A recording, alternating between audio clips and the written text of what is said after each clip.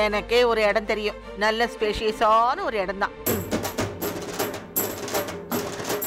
என்னம்மா? வீட்லயே கிளினிக் வச்சுக்கலாம்னு யோசிக்கிறியா? அபார்ட்மெண்ட் ரூல்ஸ் எல்லாம் தெரியும்ல? ஐயோ அதிகாதிரி ஆ, பின்ன? ஒரே வீட்ல இல்லடா. விக்ரமோட ஆபீஸ்.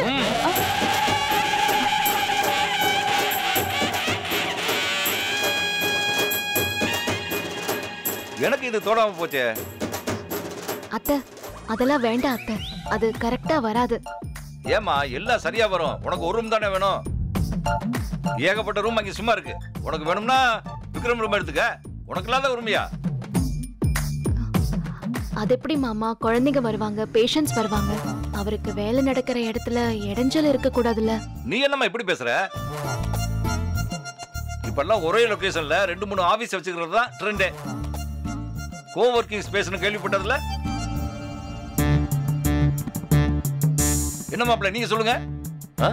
ஆமா துபாயில அப்படிதான் இருக்கும். பேக்கரி இருக்கும் அது பக்கத்துல துணி கடை பார்பர் ஷாப் அதுக்கு பக்கத்துல ஷவர்மா கடை இப்படிதான் இருக்கும்.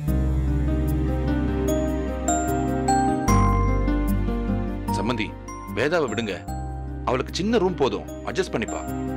மாப்பிள்ளைக்கு சிரமமா இருக்குமேனு தான் வேதா தயங்குறா.